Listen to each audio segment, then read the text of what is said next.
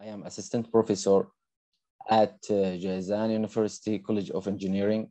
Uh, I am interested in uh, human factors engineering and patient safety culture. Uh, this evening, you will be hearing a presentation from Dr. Uh, Nazih Al Uthmani. He will be speaking to us on safe handling of medical devices within healthcare uh, facilities.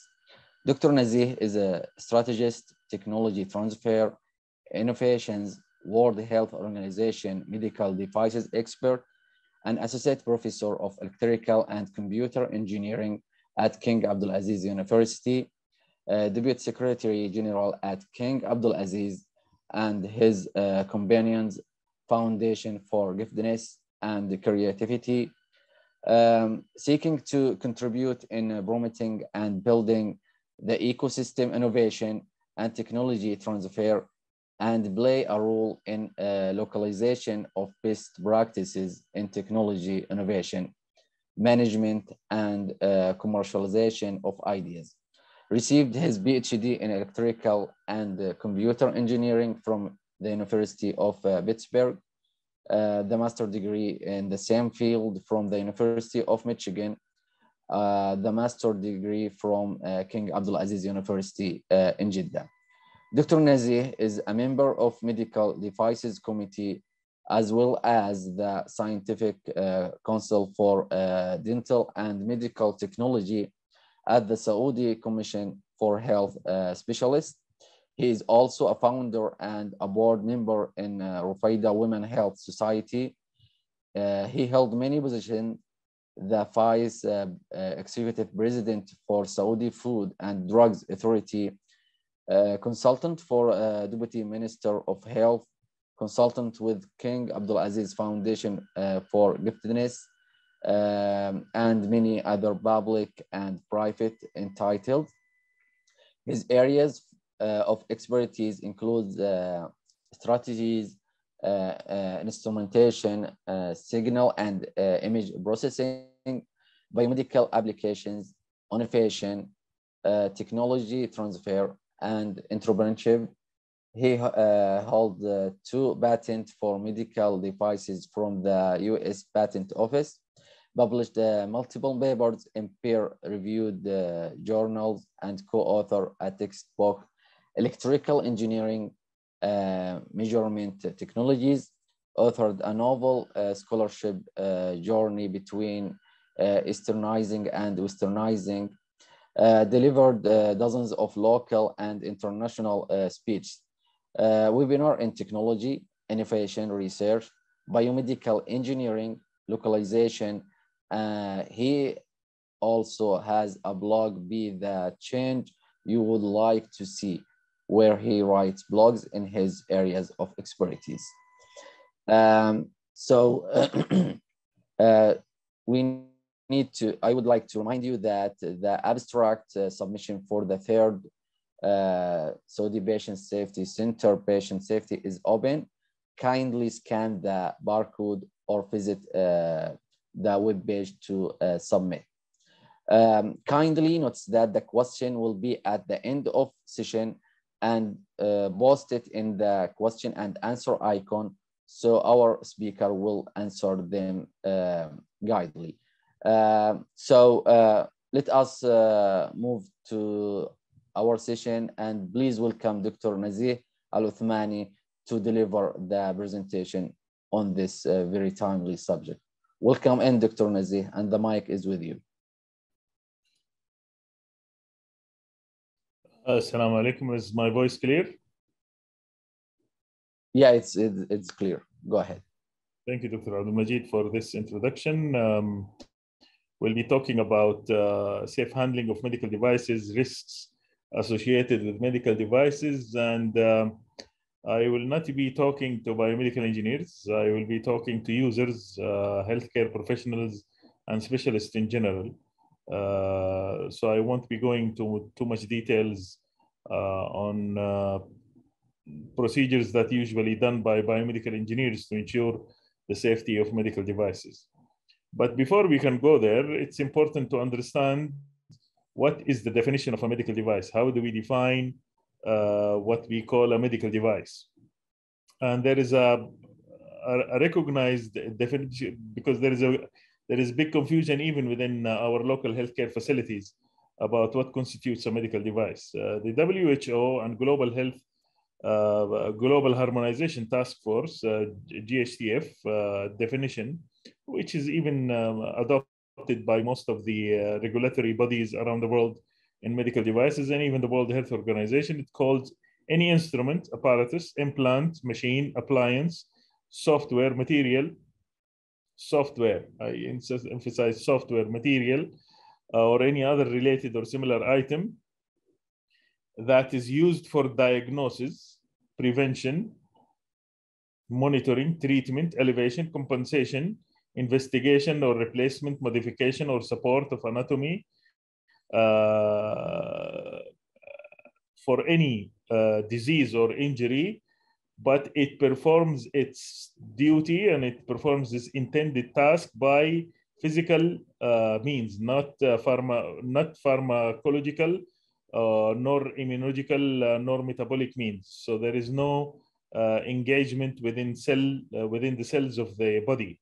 If we see the what is the difference between drugs and medical devices, this is the actual difference uh, because drugs are also used for uh, some drugs are used for diagnosis for uh, prevention and even for for treatment and elevation of pain. However drugs usually reach their intended use by pharmacological or immunological uh, metabolic means, uh, while medical devices uh, reach their goal by physical uh, means uh, purely. So this is how we differentiate between a medical device and drug. And according to this definition, even surgical gloves are considered medical devices. Uh, eh, syringes are medical devices. Uh, medical cotton are also medical devices. Alcohol swabs are medical devices, IVDs. These are all medical devices. Many people think a medical device is those X-ray machines, lab machines, uh, infusion pumps, and uh, ventilators, and all these things, which is not the case. Uh, medical devices are uh, much broader definition and much broader uh, concept. So what I'm, what I'm talking about will include both uh, things. So in medical devices, they can be used actually the first line of dealing with any patient. No doctor. There is no doctor. Uh, no doctor, no matter how specialized or uh, how much experience he or she are, they will not be able to properly diagnose a patient before they use a medical device on the patient. Uh, the first device is usually the thermometer or uh, the blood pressure monitor or even a scale. Uh, these are all medical devices, and then they usually prescribe some tests uh, some exams uh, to help doctors identify where the problems are. So medical devices are used for diagnosis. Uh, many of them are now utilize artificial intelligence, Internet of Things, wearable devices. They are used for treatment. They are even used as softwares for automatic detection of disease to help uh, physicians and doctors to understand that there's something wrong in the lab tests or in the X-ray images. So when we say about when we talk about safety, we mean that I mean safety uh, uh, is a situation where no harm is is, is taking place. Uh, so a person is saved from even pain or injury or loss. Uh, and of course, there is no such thing called completely safe. We usually try to avoid conditions that may uh, lead to medical errors and minimize risks uh, when dealing with medical devices. But there is no situation where uh, it's completely safe, it's completely harmless. It's there will always be something, uh, some risk. So when we talk about hazards within the hospital uh, uh environment, there are mechanical hazards, chemical hazards, electrical, environmental, biological, radiation, user-related uh, errors and deviation. These are all risks associated with medical devices, and we'll try to cover as many of them as we can. When it comes to mechanical devices like mobility aids, transfer devices, prosthetic devices, mechanical assist devices, patient support equipment, these are very helpful devices, very helpful machines. However, uh, they can be dangerous. Uh, they can cause harm and injury to the user and to the uh, even the uh, hospital staff. So it's important for nurses and hospital staff to uh, look for sharp edges. Sharp edges are sharp edges, leaking fluids, Uh, parts that are moving, especially moving parts. You don't want your hand to be in front of uh, something uh, heavy that is moving. Uh, loose detached parts, uh, screws that are not tight, uh, tires that are not fixed properly, things are not wobbling while moving. So this is these are really critical things to note when you deal with mechanical devices, especially devices that transport patients. Are they fixed? Are they properly installed? or not. Otherwise, they may cause a lot of harm and a lot of danger. Environmental hazards can be caused by medical devices, by solid wastes, uh, noise, uh, utilities like natural gas uh, and, and, waste in general, lab chemical wastes. Every hospital need to have separate uh, drainage for uh, chemicals going out of the labs, uh, lab machines, the specimens. All these things need to be put in mind. You don't mix chemicals with the regular drain. They have to be, uh, they need to have a special drain and uh, they need to be collected in a specific way and uh, discarded in a way that is not uh, harmful to the environment. Unfortunately, many times we see incidents and photos spreading around the net uh, about people uh, throwing away drugs or even human specimens in a very in a manner that is very dangerous to the environment of course, when it comes to biology, uh, to uh, environmental hazards, there is also biological hazard, where there is infection. Infection control is required. Uh, uh machines have a lot of specimens from patients. Uh, patients could be infected with rare diseases or uh, bacteria or viruses. So it's important to pay attention when dealing with such machines and devices. Don't touch everything without having proper uh, cleaning and uh, sterilization process uh, done. And of course, the, the surgical tools need to be sterilized properly.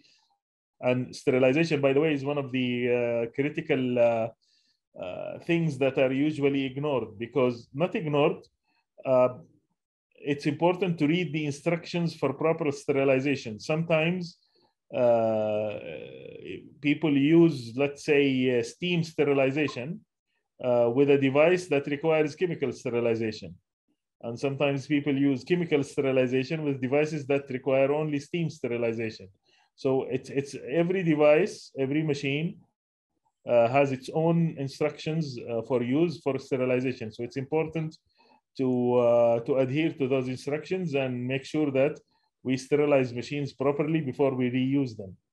Uh, another thing, a single-use device this is also sometimes common. A single-use device is a single-use device. You cannot reuse a single-use device. Uh, sometimes uh, we have noticed when I was in the Saudi FDA that some hospitals tend to somehow reuse single-use devices, and uh, this is really dangerous. Uh, it may cause biological hazards.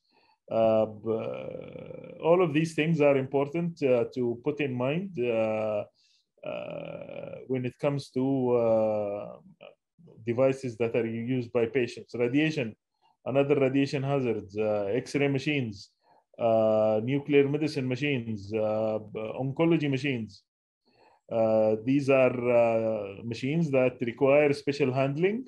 Uh, all staff members need to wear TLDs and, or TLDs on their on them continuously while using this these machines, they need to be monitored to make sure that they didn't, were not exposed uh, more than uh, what they're supposed to. Even this is another practice that is need to be uh, practiced in our hospitals, which is monitoring the patient dose for an X-ray machine. Are the patients being overdosed or not? is the machine delivering the proper dose or not? I mean, if you set up the X-ray machine for a certain amount of dose, is the machine actually delivering that amount or more or less? If the machine is delivering more uh, than what it's supposed to, then there is a, a risk on the patient. If it's delivering less, then uh, the image quality will be terrible. Uh, so a constant uh, monitor to this dose needs to be done by medical physicists or by medical engineers. And then once if deviation is detected, service need to be required to fix that. Uh, handling the radioactive material.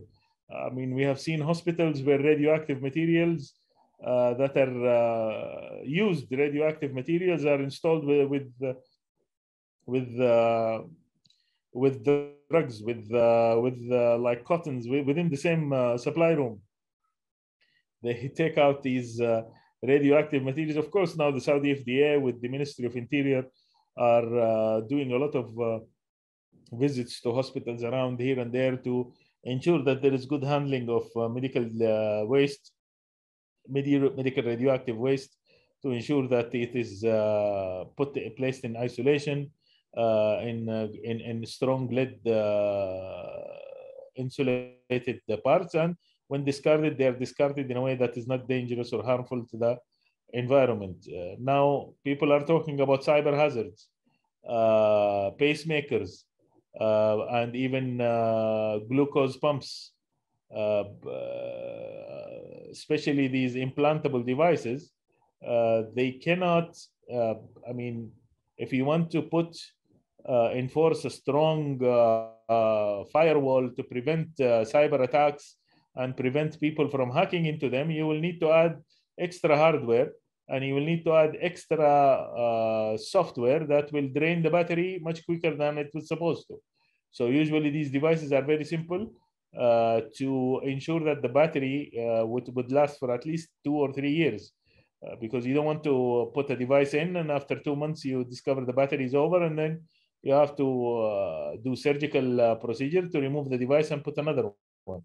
Uh, so these are very simple device and uh, usually uh, they are susceptible for uh, hacking. So you can imagine somebody with a pacemaker that is programmable through Wi-Fi enters into a room where there is a strong Wi-Fi signal and the pacemaker reprograms itself. Uh, so that's that that's really uh, something that's dangerous. Uh, I'm just putting an example for an FDA recall to to to close half a million pacemakers uh, over hacking fears, pacemakers, um, infusion pumps. These are all, any device that is connected to the internet is uh, subject to uh, hacking or interference.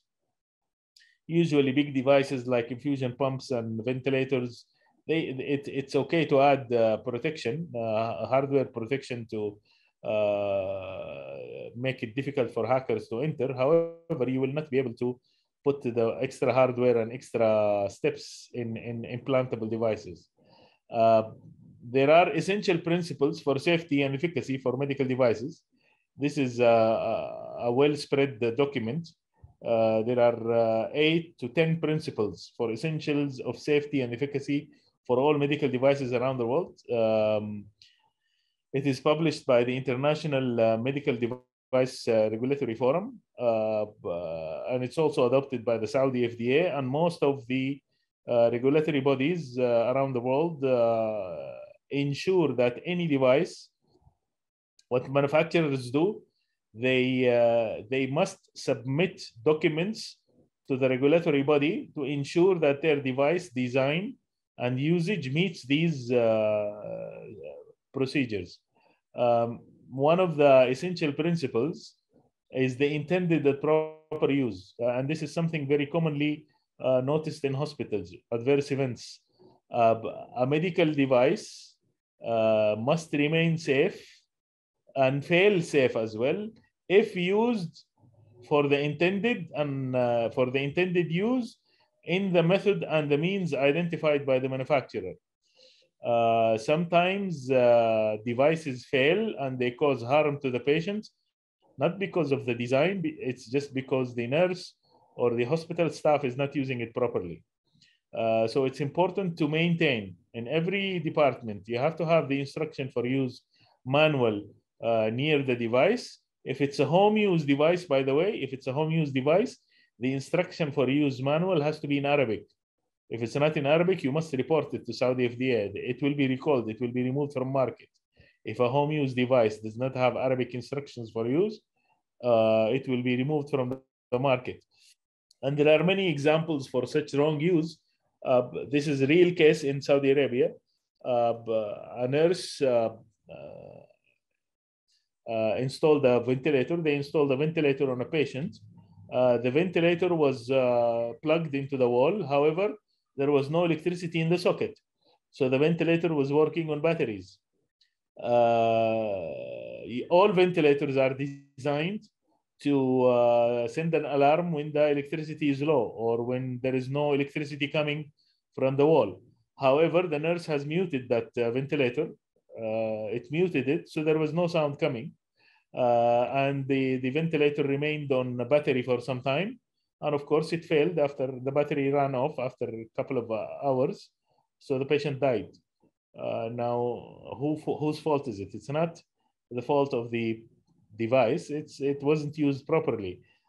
Uh, laser guns, for example, in, in cosmetic clinics, for example, laser guns are uh, some of them are intended for facial. They could be used for vaginal uh, treatment. Uh, this is something also that was reported in uh, uh, in Saudi Arabia. It's important. It's important to have the to use the device for the intended use. The instruction for use manual says this device is used for one, two, three, four. And actually device is usually licensed, licensed for this purpose, for the intended use that is identified for the instruction for in the instruction for use manual. Unfortunately, some people uh, out of ignorance or purposely, they think it's okay to use it in another fashion. Uh, another common problem we see electrosurgical units uh, the ground plates, ground plates uh, expired. Well, the plate expired. It looks clean. It looks fine. So doctors tend to use it. And uh, what happens is it doesn't provide proper grounding. So when the electric current uh, starts cutting, it burns the patient back because of that. So these are many of the uh, problems that were detected. These are real cases, by the way, detected in Saudi Arabia. Another important fact uh, uh, it's important for people to be aware that there is a current whenever, when there is a device connected to a patient, there is a current running through that patient, whether we like it or we don't like it. Not only patients, even us, as we are sitting now, there are electromagnetic waves uh, around us. These and our body behaves as an antenna. So these electromagnetic waves will enter into our body through currents and reach the ground. This is a fact of life, unavoidable. It's happening. So don't worry about it. It's okay. You're currently sitting now, and there is current running through your body. Now, the problem uh, in hospitals is that when patients have multiple devices connected to them, like uh, infusion pumps, uh, patient monitors, uh, catheters, uh, and, and, and, more and more of these devices. Some, sometimes you connect three or four infusion pumps ventilators, uh, anesthesia machines, or uh, so once when these devices are connected, there is more current running through the patient. So that's why it's important to run electrical safety tests Uh, on these devices. These are done uh, by uh, qualified biomedical engineers and it's enough if 10 microampere 10 microampere micro 10 to the minus 6 ampere pass through the heart of a patient, it will cause heart attack. 10 microampere. Uh, it's it's a very small current. Usually these devices currently now they they work in the range of nanoampere. But however, if there is a problem in the device, the leakage current will increase. So it's important to put that in mind. Uh, and, and and usually uh, patients uh, uh, biomedical engineers need to do electrical safety tests. Uh, and I will talk to you about the importance of these tests and how well we are doing with them. Now, this is, uh, this is a device. It could be a ventilator, it could be an anesthesia machine, it could be patient monitor. I'll be talking about the ground wire, the third wire. This third wire has nothing to do with the operation of the device. If you disconnect that wire, the device will still work. However, what they usually do is this device, this wire is connected to the chassis, to the chassis of the device, the outer body of the device. Uh, so in case there is a problem in the electrical circuit inside the device, the current will uh, pass through this chassis and go through the ground wire outside instead of going through the chassis and then entering into the patient. If there is uh, a good ground wire, uh, then the all the leakage currents or most, the vast majority of the leakage current will go through this wire instead of going through the patient. Now, uh, what is uh, commonly used with people is that they break this ground wire. They break the third pin. Now, uh, luckily, now the uh, Saudi Engineering Council has a strong code. However, still some hospitals do not use uh, the proper uh, plugs, and we're still using two types of plugs. So people think that it's okay to break this ground pin because the device will still work. Yes, it has nothing to do with the function of the device. However, if there is a fault in the machine, if there is a fault in the device, then this pin will protect the patient or the user uh, from being electrocuted. By the way, this is also important in homes, washing machines, refrigerators, uh, ovens, uh, toasters. Uh, it's important to keep this wire on because these devices carry a lot of current and sometimes a loose wire uh, will uh, attach to the chassis of the refrigerator or the or the washing machine and somebody comes and touch it it gets heavily electrocuted, and that's really dangerous.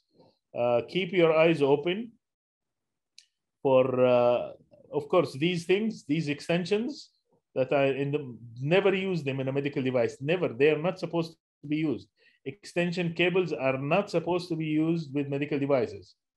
Install the machine next to the plug. Don't use an extension cable, period. Uh, if you need to use it, use it temporarily for 10, 15 minutes something urgent, you have to do it, that's fine. However, for long term, never use an extension cable. You have to put the device near the plug and never use these uh, extensions. These are very dangerous and keep your eyes open for, uh, for such open wire and broken wires that are usually broken by uh, chairs, sliding chairs or something else.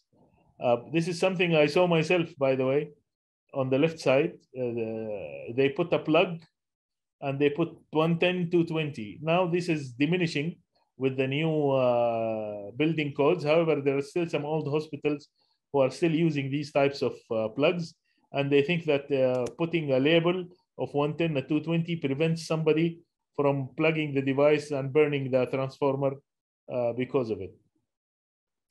Another common thing is connecting 10, 15 devices on the same uh, plug. Uh, this is really, I mean, uh, dangerous because the more devices, each device will draw its own current.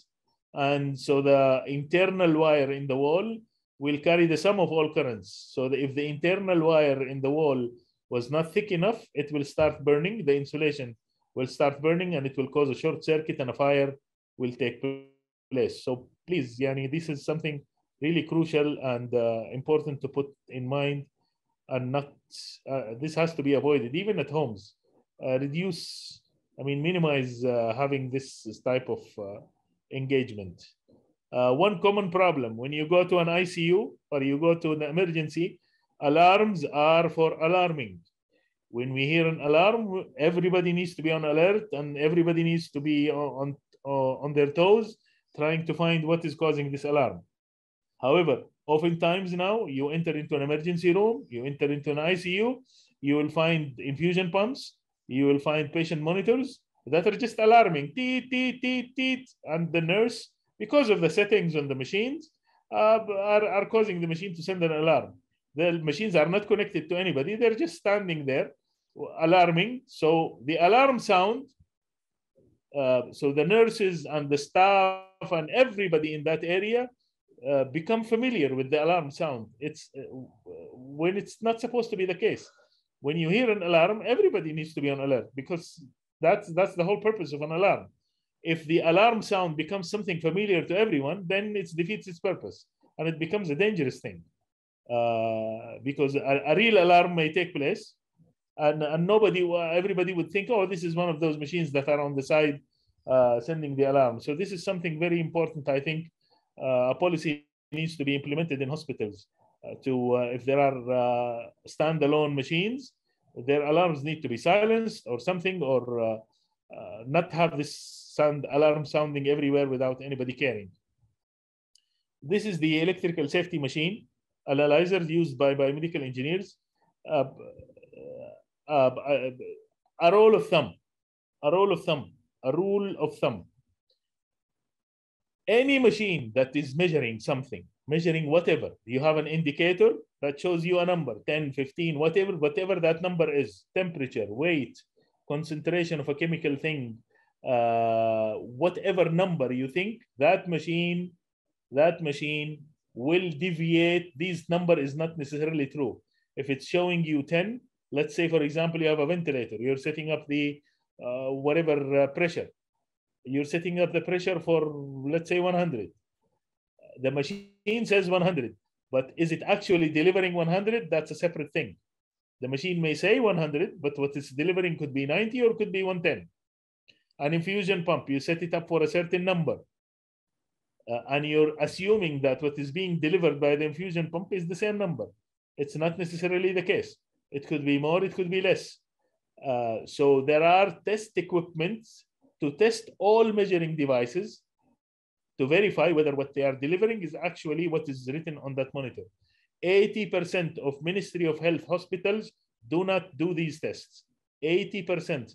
This is a study that was done by the Saudi Health Council uh, on multiple hospitals in the Ministry of Health specifically. This is not the case with the National Guard, not the case with the Armed Forces, not the case with the uh, uh, King Faisal Specialist Hospital. These three hospitals and the uh, armed forces, these hospitals, they, they always do tests and validate that these numbers are correct. Ministry of Health, 80% of hospitals don't do that. So this is extremely dangerous. So you may set up the anesthesia machine for a certain concentration of, uh, of drugs uh, and assume that it is actually being delivered when in reality it's delivering less or more. So the, so the patient may wake up in the middle of the surgery or uh, sleep, uh, go in a very deep sleep that uh, could cause harm. So biomedical engineers need to constantly uh, ensure that the numbers mentioned on the machine are correct and they need to put a label. So if you go and meet uh, uh, every that label needs some machines every three months, every six months. So you have to see that label. When was the last service performed on that machine? And if it's not uh, done within the uh, previous six months, remove that part from service. And if the biomeds, ask the biomeds in your hospital, are you testing my ventilator? Are you testing my anesthesia machine to ensure that what is actually being delivered is the same as the number? If not, remove that device from service. It is harmful, it is very dangerous. You're assuming that the settings you're putting on the machine are correct when in reality they are not. Uh, because nobody is testing for these devices. Uh, reading errors. So when it comes, you can imagine how uh, the SpO2, for example, oxygen monitor, uh, it's saying 98 or 99. You think it's right when the monitor is not calibrated or out of sync, when in reality it's 90 or 96. So this will cause problems. Sphygmom, uh, blood pressure. Blood pressure machines are always out of calibration. So a patient might be diagnosed as uh, hypertensive when in reality it's just the machine that is reading wrong. Uh, uh, the lab machines. I mean, uh, uh, how how does a doctor realize that a patient is diabetic or certain? It's by numbers. I mean, if the machines are not calibrated, let's say for for for example, in lab machines, many of people working in labs, they have what it's called the control. They come in the morning, they insert this control in the machine, and they are trained that uh, the machine should read 15, for example. If the machine reads 15, they continue uh, using that machine that day. If the machine reads something else, it means that it's off calibration. So it will have to uh, call for service. This is crucially important. Unfortunately, the Ministry of Health, the largest uh, hospital chain in the kingdom, they have no policy for this. And uh, biomeds, I know many biomeds in the field are trying to enforce this. They are trying to make this possible, but it requires budgets, it requires training, and usually the policymakers and decision makers do not understand uh, what does this mean and do not have, they do not comprehend the importance of this issue, so they ignore it and they just let it go. وبالبركة المسألة ماشية. Uh, and, and that's a frustration for most of biomedical engineers in the Ministry of Health. If you talk to them, they will tell you we don't have test equipment. So we don't know if our machines are reading properly or functioning properly. And they demand it from uh, authority, they demand it from uh, hospital uh, administration, nobody listens. Because, I mean, no one understands what engineering is, and no one understands that this is an international requirement by IMDRF, by WHO. It's uh, really something alarming uh, to put in mind. Uh, a study was conducted in, in one of the local hospitals in, in Riyadh. Uh, the sample size uh, what about was about 20% of uh, yeah, about 200 machines of high risk medical devices Uh, representing six device categories. To example to uh, to measure the impact of calibration uh, performance on patient safety. And the results was 34% of the machines failed the visual test. What is the meaning visual test? There are broken parts there are labels that are missing there are wires that are broken there are things that are not tight. 5% of these devices, 5% out of 200 devices failed uh, the safety test, and 58% failed the performance test. The machine is functioning properly in front of you. It's, it looks fine. However, when you measure, when you compare the performance of the machine with the specifications required for safety usage, you will find the discrepancy between the performance and the standard. This safety tests are not done. Why? Because you require tools to do these tests, and usually hospitals, uh, uh, not all of them, some hospitals uh, don't seem uh, see that necessary to use those test machines to verify and validate the hospital's uh, thing. So it's very important to uh, ensure that the numbers you are getting, the doctor bases his or her diagnosis on these numbers, and these numbers come from machines if these machines are not calibrated, then the numbers the doctor reading are wrong. When the number is wrong, the diagnosis is wrong. So uh, imagine a hospital that doesn't even check uh, what's going on and how these numbers uh, take place. It's it's really uh, disturbing. And by the way, there is financial impact.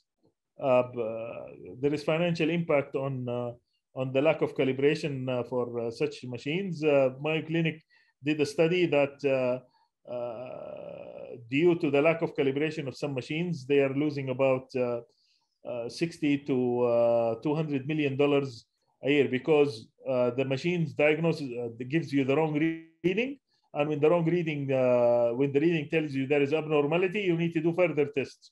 So they need the initial screening using machines. And then after this initial screening, they, uh, when the patient is abnormal, they have to do further tests. And this initial screening uh, was uh, detecting problems because of lack of calibration. If it was calibrated, it wouldn't have detected it. Another important thing, adverse event reporting. We all have recalls in our cars. We all have recalls in our best cars.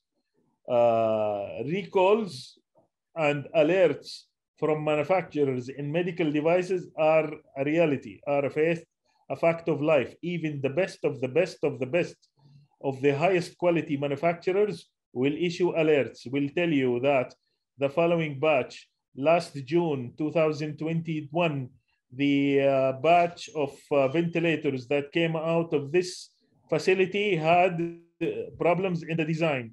So anyone uh, having that uh, recall must uh, fix this sensor, fix this part, remove this device from service. This is a fact of life. If and Saudi FDA every week issues, gathers these alerts from around 11 sources around the world and publishes a report to all hospitals. There is a person in charge within every hospital who receives these adverse events, and the vast majority of hospitals ignore them. A person is telling you that if you have this device in your hospital, then there is a problem. You need to change the sensor. You need to remove it from server service, you need to adjust the following, you need to pay attention to the following, and many people unfortunately ignore these alerts. This is crucially important. A hospital must enforce policies to have somebody in charge within the hospital to validate and verify the list of devices in the SFDA alerts. Are they existing in the hospital or not? If they are existing, they have to report to Saudi FDA and they have to perform the uh, recall uh, alert on them. Uh, otherwise, uh, it's it's it's going to be a problem. You yourself within your hospital, uh, within your hospital, if you see uh, a device that has having false claims, it's claiming that it can do one, two, three, and if it's not doing, report it to SFDA. It will be recalled. They do action. they do do things. I mean, this is real. They look forward for getting these alerts uh, wrong information, mis, uh, mislabeling, uh, missing instruction for use in Arabic for home use devices, design mistakes, wrong instructions for use, all of these things are reportable. You must report them. And uh, once you report them, uh, the SFDA will take uh, action. And there are many, many cases locally that were reported for medical device problems. And the FDA contacts the manufacturer the manufacturer, based on Saudi observation, will issue an international recall to uh, remove uh, these devices from service. One of the famous uh, problems that took place, the PIP, PIP implant, poly-implant uh, prosthesis. This was, I think, in 2011 or 2012. The top French company for manufacturing breast implants, the top, it's not something that is uh, a cheap company. No, this was the top manufacturer of breast implants in the world at that time uh, manufactured a new set of uh, breast implants and instead of using uh, medical uh, silicone within them they used industrial silicone uh, to, to save cost. They saved money. It was licensed by uh, the european union. The factory was audited. People visited the factory and when the auditors came the factory was functioning uh, properly and working properly. However, when the auditors went, they removed the medical silicone and they started using uh, industrial silicones. About uh, six to 700 Saudi women were uh, impacted with this. Uh, and the report came from uh, the United States and Australia. these implants started leaking, and I think one lady died. and when they investigated, they figured out the problem and they traced it back to the factory, uh, a manufacturing design, and an international recall was announced because the Saudi FDA keeps track of every machine that comes into the country. They were managed to uh, uh, identify that there were 600 or 700 women who were impacted with this, and they had to deal with it. These are this is the number of incident reports for the US FDA uh, for medical devices problems around the world around USA, for example, in 2015, they had about half a million, one and a half million reports. This is something very important because these reports, there are people analyzing these reports, studying these reports, and trying to figure out is this an isolated incident? Or it's it's coming from five six different places. If it's coming from five six uh, five six different places they will immediately alert the manufacturer.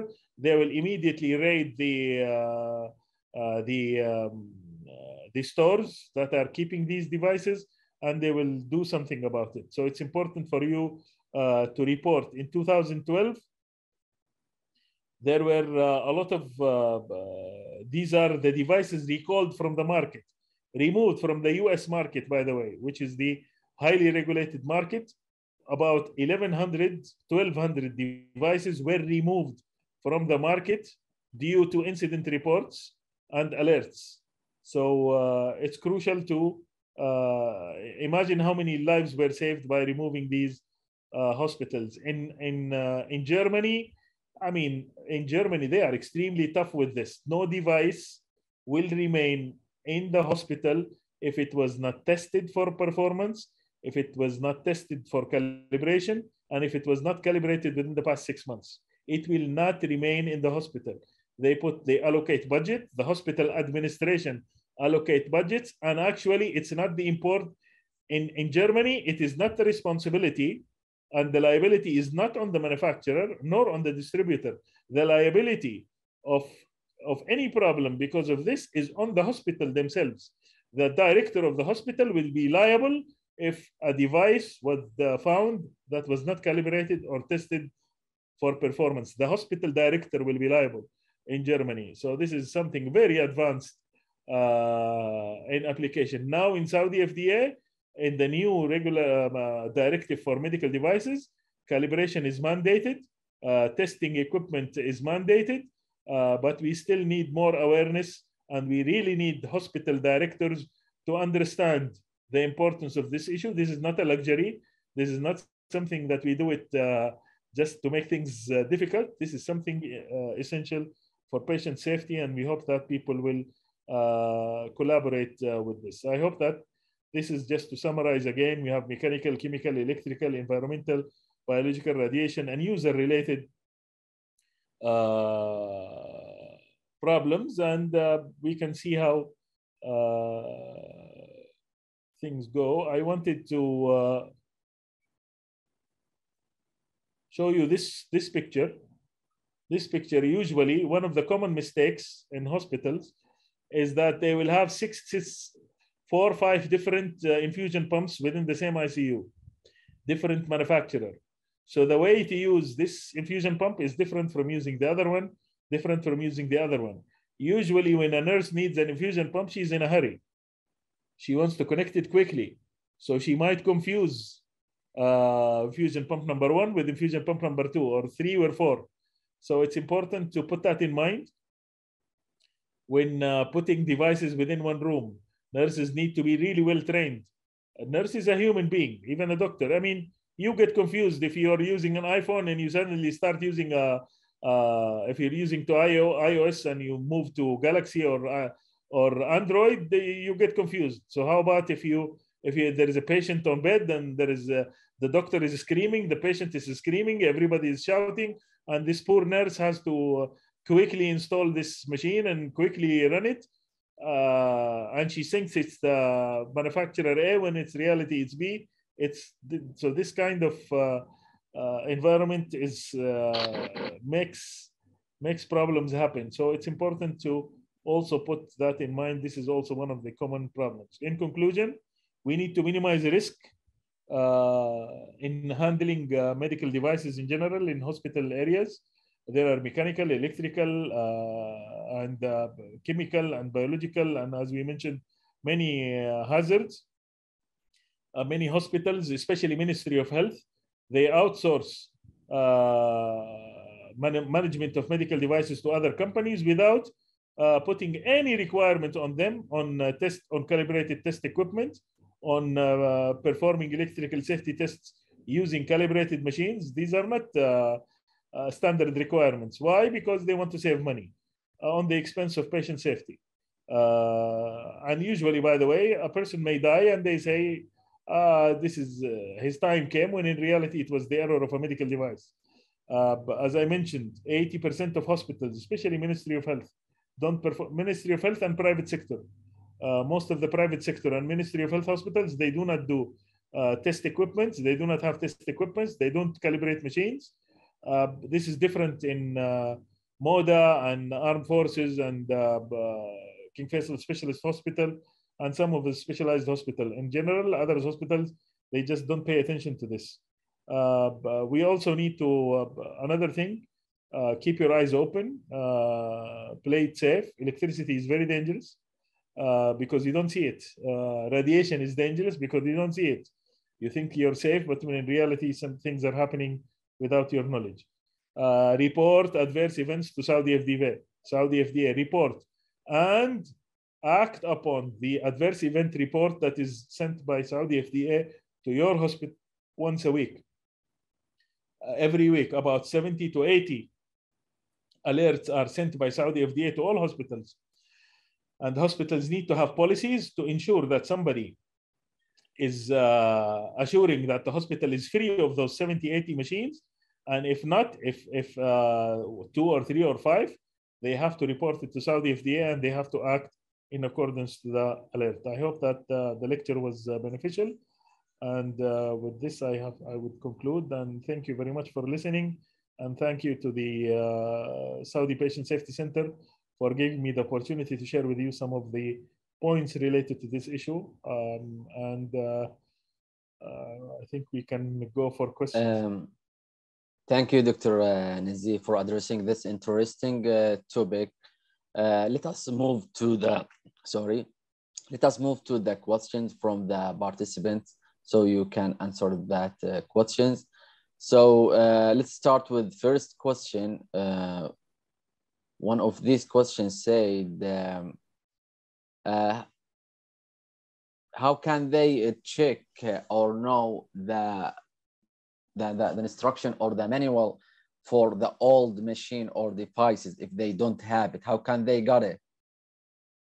Well, uh, the, the, I mean, uh, every machine in the hospital, most of the machines are under contract, uh, whether by Mhm. a manufacturer or by another service provider. So they can ask that Mhm. manufacturer to uh, provide them with the uh, instruction for use manual.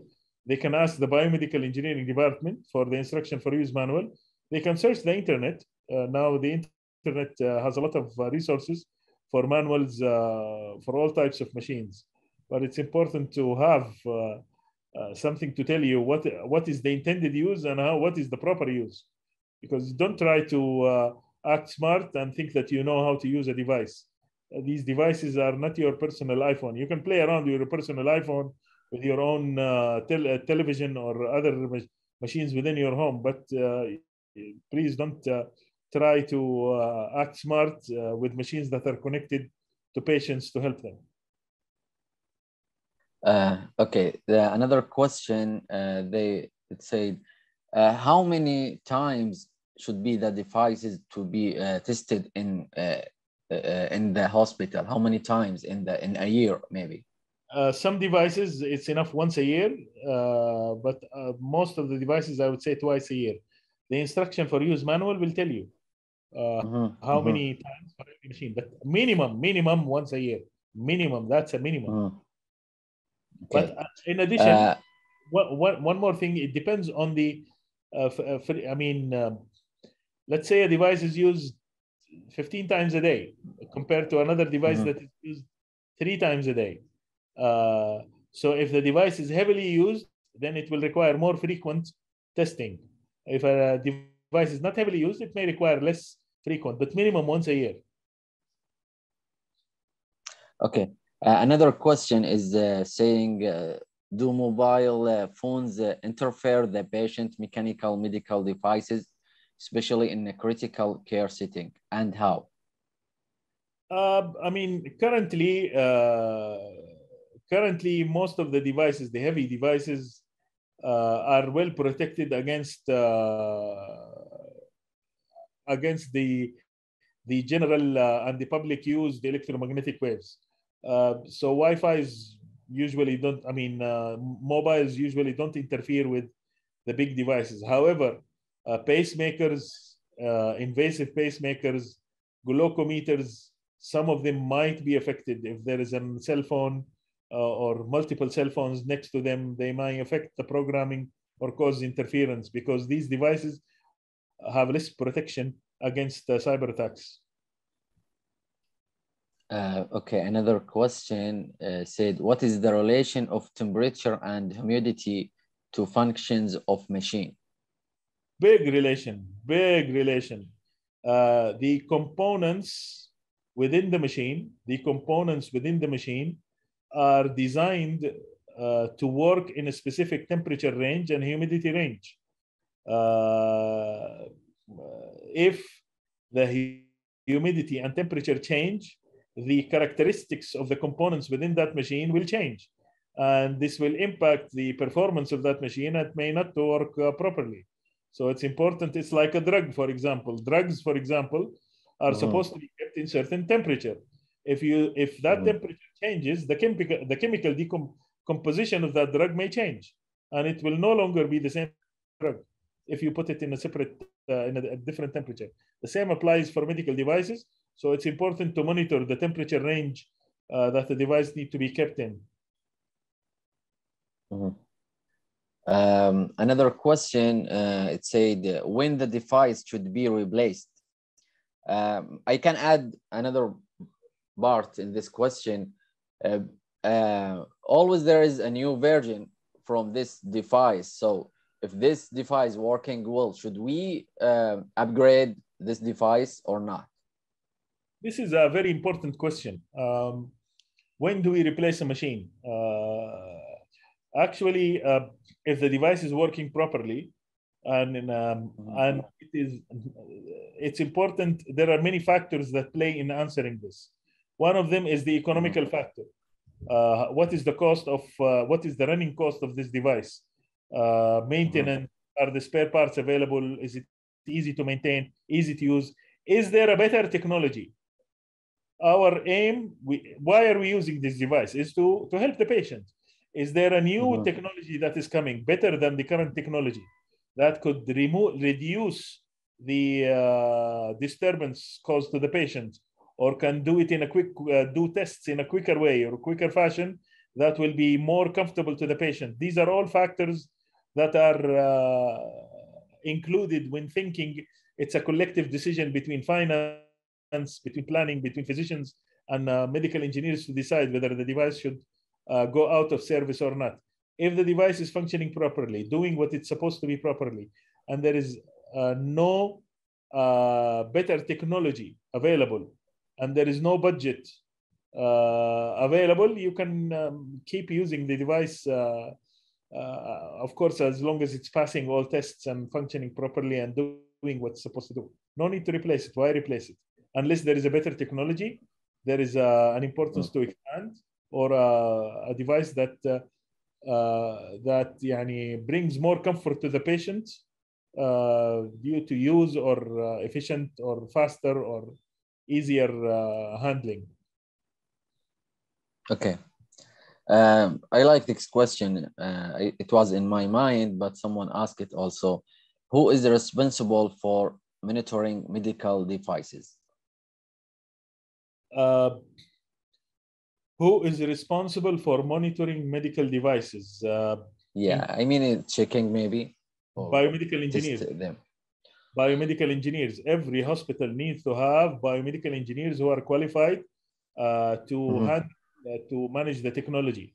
Uh, these biomedical engineers within hospitals they help in planning, they help in uh, evaluating the performance of machines, to mm-hmm. later on decide which stays, which removes, which goes out of service, and they're the ones in charge of preventive maintenance. Every machine requires preventive maintenance changing filters. Like your car you have to take your car every 5000 kilometers to change your oil and filters. Even machines require that. I mean uh, there are filters that need to be changed. There are uh, things that need to be cleaned. Uh, there are uh, chemicals that need to be replaced. There are sensors that need to be validated and checks. Uh, a machine is like uh, that biomedical engineers need to be need to be empowered to do that. Uh, there are many hospitals that don't even have a biomedical engineer. They don't even have a department, uh, uh-huh. which is something uh, very alarming. Uh, these are, I mean, now people are becoming more aware of the importance. However, it's not about having the biomedical engineer. I mean, having a department that is not empowered, that is not enabled with budget and training. I mean, medical devices uh-huh. Change, are, are quickly changing, constantly changing the technologies are evolving very quickly. So if, if you don't train your engineers, if you don't train your staff, uh, they will be outdated uh, and, and machines will be keep coming out without uh, nobody trained on them and uh, uh, patients will suffer. So that's, uh, this is an invitation. Hospitals really need to invest in their staff. they need to train their nurses. They need to train their biomedical engineers. Do not buy a machine from someone. Do not buy a machine within mm. some from without putting in the contract something about uh, training the staff and training the biomed engineers on how to do the regular maintenance and how to do the preventive maintenance, not just the operation. Usually, hospitals uh, care about the operation, teach the nurse, teach the doctor, and, and they pay le- very less attention. What about the biomed engineer? Teach him how to maintain this machine. Teach him what are the things he mm-hmm. need to uh, worry about. Teach him every three months what he needs to check, what filters he need to change, what things he need to do. Uh, this is something very important uh, in, in, this era of uh, fastly evolving technologies. Um, there are many questions uh, need to be answered, but uh, we are uh, in the end of our session. Uh, I would like uh, to uh, thank uh, Dr. Uh, Nazih for joining me, us uh, today. you allow me, just, just, just one thing, Doctor. Yes, It is Yeah. not the FDA. No, it is Saudi FDA. FDA is in America. We don't have uh, Mhm. authority over here.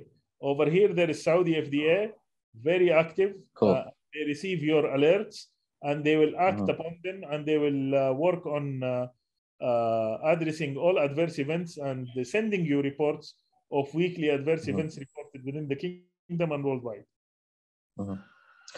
Uh, on behalf on, uh, of uh, Saudi Patient uh, Safety Center, we would like to thank Dr. Nazih Al Uthmani and the audience for their active uh, participation. Uh, as a part of the Saudi Patient Safety Center effort to uh, provide uh, you with timely topics and interesting speakers, we would appreciate it if you would fill out the evaluation survey sent to your emails after the session. Uh, thank you uh, for joining us today, and we look forward to welcoming you back in future webinars.